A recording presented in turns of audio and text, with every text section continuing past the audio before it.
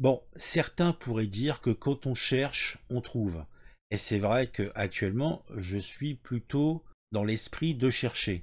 Je suis comme euh, un cochon truffier, j'ai le nez dans la gadoue, bah s'il y en a, je la trouve. Donc cette fois-ci, on est encore avec encore un migrant qui est là depuis pas longtemps, qui agresse une personne et qui va se retrouver devant la justice. Après, dans certains cas, la justice fait son œuvre, dans l'autre cas, on trouve qu'elle ne le fait pas. Certains diront que euh, il y a des lois, elles sont appliquées strictement, et puis si une personne se trouve libre, c'est que bah y a une loi qui gère ce genre de truc. Et moi, euh, pauvre con, avec ma vision fragmentaire et en manque total d'intelligence, je ne peux pas comprendre. Voilà, ça c'est le principe de base. Donc ce, ce, petit fait divers, puisque bon, faut euh, faut être concret, c'est un fait divers.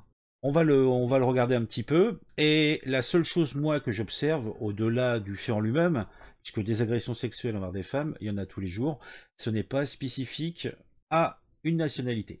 Par contre, ce qui est spécifique, c'est le laisser aller plusieurs endroits, mais là on va s'intéresser à, Grande Sainte. Grande Sainte, vous connaissez sans doute, en tout cas on en a parlé pas mal dans les médias il y a quelque temps, c'est une des bases avancées pour les migrants qui souhaitent aller en Angleterre. Bon, maintenant qu'on a, posé le truc, on va rentrer un petit peu dans le détail de l'article, qui est qu'un extrait. Ce fait divers n'a été, euh, a priori, annoncé que dans la Voie du Nord. Alors, on va regarder un petit peu ce que ça raconte. Grande Sainte, un migrant condamné pour avoir agressé sexuellement une promeneuse. Donc ça a été publié le 1er novembre, mais c'est une affaire qui date de début septembre. Le 6 septembre, vers 17h30, Christelle promène son chien à la lisière du bois de Puitouk. Elle croise Elton Amatage, un migrant albanais de 24 ans, arrivé en France 15 jours auparavant. Il vit dans la jungle, donc la, ce qu'on appelle la jungle de Calais, a priori. Il essaie d'amadouer le chien en lui tendant les bananes. Non, les, chiens, ça n'aime pas les bananes. Estelle, lui, l'a arrêté et poursuit son chemin. Il m'a attrapé violemment par le cou, j'ai réussi à me dégager, raconte la victime. Brutalement, elle est plaquée au sol. Elton tente de lui enlever son short, glisse sa main dans son autre jambe. Je me débattais, je crie au secours. Il a rabattu la veste sur ma tête. Elle ne sait pas s'il cherchait à l'étouffer, à étouffer ses cris ou à l'asphyxier. Je me voyais mourir, j'ai eu le sentiment d'une mort imminente. Donc on ne connaîtra jamais la suite de l'article, puisqu'il est euh, en version euh, accessible que pour abonnement. Ce qui est intéressant là-dedans, c'est le fait que ce jeune migrant albanais était là depuis euh, quelques semaines. Donc en fait, on va dire que on a de l'importation de criminels. Donc c'est pas c'est pas top top. Et comme je l'ai dit, c'était pas ça le sujet. Le sujet, c'est un petit peu le traitement médiatique euh, que l'on avait de la zone de Grande Sainte. Et ça, c'est assez curieux. Donc le dernier gros événement qui a eu euh, une bonne diffusion dans la presse, c'était euh, il y a quelques, mois, en août, où un jeune migrant qui est tombé dans le canal est mort noyé. Donc c'était le moyen de remettre une pièce dans le jukebox en nous disant qu'il vivait dans des conditions euh, détestables, euh, voilà, pour dénoncer les conditions de vie des réfugiés dans ce camp. Un migrant s'est noyé le 9 août dans un canal près du vaste campement d'exilés situé sur la commune de Louplage, Grand-Sainte. Donc c'est des exils, c'est un campement d'exilés. D'accord? L'homme se rendait dans le canal pour se laver, a indiqué le mercredi 10 août la préfecture du département. La victime était un Sud-Soudanais âgé de 22 ans. La préfecture du Nord a ensuite confirmé le décès d'un migrant dû à une chute accidentelle. Alors, entre 300 et 400 personnes vivent actuellement dans ce campement, situé à proximité du canal. Les conditions sont terribles, dénonce Anna Richel. Il y a un manque d'eau cruel, énormément de gens souffrent de la chaleur et de la poussière. Une association fournit chaque jour de l'eau, mais le camp ne dispose d'aucun point d'eau courante. Un petit élément qui est important de savoir, c'est que euh, c'est du squat de terrain privatif, euh, que les gens à qui appartiennent ces terrains n'ont aucune aide de l'État. Alors qu'ils doivent se gérer, ils doivent gérer le problème tout seuls. À la limite, on va leur reprocher de ne pas avoir, de installer des points d'eau. Parce qu'en fait, vous avez le camp principal bah, qui en fait qui a été évacué, qui a été... et puis tu as des spots qui se créent un peu partout. Vous voyez, c'est un petit peu, bon là l'exemple est malheureux que je vais, donner. Euh, vous avez des décharges sauvages quelqu'un euh, commence par mettre, euh, on va dire, un vieil évier euh, cassé. Après, d'autres personnes vont commencer à mettre des sacs poubelles. Après, on va voir des, rejets, on va dire des restes de chantier, etc. Et, en fait, S'il n'y a pas la municipalité qui tout de suite intervient et, nettoie, ça va s'accumuler, ça va s'accumuler, et vous avez en France, si vous n'avez pas de chance, vous avez ça près de chez vous, en fait, des décharges sauvages.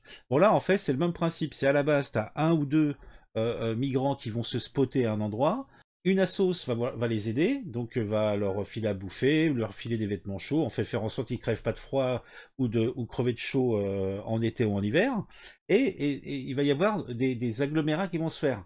donc c'est des, on va dire, c'est des petits camps qui se créent. S'il n'y a pas de réaction, et il n'y aura pas de réaction de, l'autorité, puisque qu'est-ce que tu veux qu'ils fassent? Euh, tu, veux les, tu les prends, tu les mets où? En fait, c'est cornélien comme truc. Comme tu peux pas, tu les, tu les fous à l'endroit de la France, donc tu vas générer euh, de la contrariété autre part, euh, vaut mieux concentrer la contrariété au même endroit. Donc ça, c'était un point. Donc là, c'était le dernier gros article qui avait été fait sur ce sujet-là. Et je suis tombé sur, euh, on va dire, une page de France 3 qui reprend, on va dire, les informations concernant ce sujet particulier. Que petit à petit, on en parle de moins en moins, alors que les, migrants sont toujours là, hein. le, problème est toujours là. Alors le dernier, c'était euh, le 20 octobre, attends, c'est 20 octobre 2022, un, récit poignant euh, d'un migrant qui a passé 18 jours en mer. Donc il a fui l'Afghanistan sous le joug des talibans. Nazir et sa femme avaient pour projet de rejoindre l'Angleterre. Tiens, tu vois, c'est toujours le problème, l'Angleterre.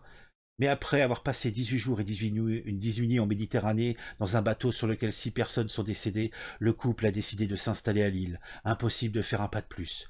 Traumatisé par cette tragédie, Nazir nous livre un témoignage inédit, illustration de la dangerosité de la route de En général, les réfugiés, ils, vont dans le pays le plus proche de la zone où ils vivaient. L'objectif, c'est comme de rentrer chez soi. Deux migrants ont été gravement blessés par balle dans un camp de Lone Plage près de Dunkerque dans la nuit de mardi et mercredi. De nouveaux tirs ont été entendus. Alors, euh, dépêchés sur place, ont pris en charge les deux blessés. Au lendemain de cette soirée violente, de nouveaux tirs ont résonné dans le camp. Un groupe d'exilés afghans habitant le camp, à plus de 400 exilés de décoration de vie est déplorable. Euh, avance une altercation entre des Kurdes irakiens. Dans la soirée dernière, déjà neuf Soudanais avaient été blessés par balle dans ce même camp. Alors déjà, tu, peux te poser des questions, il y, a des, il y a des armes qui se baladent là-dedans. T'as une petite mafia en plus qui doit, qui doit vivoter là-dedans. C'est Feng Shui, hein Fusillade à répétition depuis le mois de mai. Depuis mai, les fusillades se répètent dans les campements de Louplage. On sait qu'il y a parfois des règlements de compte, mais c'est la première fois que c'était aussi proche de nous. On entendait, des balles siffler dans les arbres. Témoigne alors Michael, un bénévole que nous avons rencontré sur place à l'époque. Donc, ça, c'était une des dernières news. Et à date de quand? Est-ce que je peux revenir dans la page ah, Ça, ça date de septembre. Alors, début septembre, traversée de la Manche, 1160 personnes ont pris la mer en un week-end selon les autorités britanniques. Euh, Grand Sainte, un jeune migrant mort noyé, donc là ça correspondait, c'était début août, donc ça c'était juillet.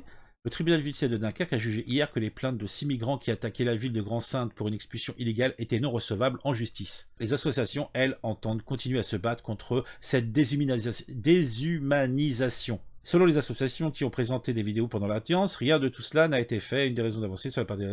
Bon, alors, migrants à Calais, alors on est en décembre, on a, on a six mois où il se passe rien, alors qu'il s'est passé des choses, mais on n'en parle pas. Alors pourquoi la SFDT intervient dans ce truc-là? Selon la SFDT du Hauts-de-France, 23 000 personnes sont mortes ou disparues, tous fuyés leur pays dans l'espoir d'un avenir meilleur pour eux et pour leurs enfants. Dignité humaine, droits de l'homme, liberté, solidarité et démocratie, au nom de ces valeurs que l'Union régionale Hauts-de-France du syndicat adresse aujourd'hui une lettre ouverte. Suite au décès de 27 migrants au large de Calais, une plainte déposée pour omission de porter secours. Depuis plusieurs mois, à Grande-Sainte et à Calais, de nombreux migrants tentent de s'abriter pour tenter d'ensuite de rejoindre l'Angleterre en bateau. Ils se rassemblent généralement dans des camps sur le littoral et se protègent sous la tente ou des abris de fortune. Sauf que l'État refuse de les laisser s'installer sur le territoire et organise régulièrement la destruction de ces endroits.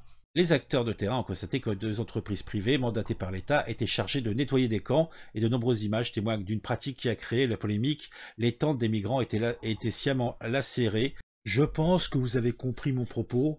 On nous le dit, et pour moi c'est une réalité, les changements climatiques vont avoir de fortes conséquences sur euh, les flux migratoires. Le vrai combat, s'il y a combat à mener, c'est qu'il y ait une prise de conscience des populations et surtout de ceux qui décident qu'il faut se préparer à ce moment.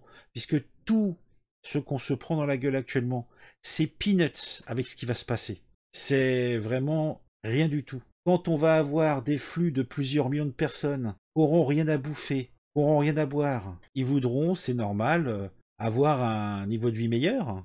Mais bon, pour résumer, tout ça est bien triste.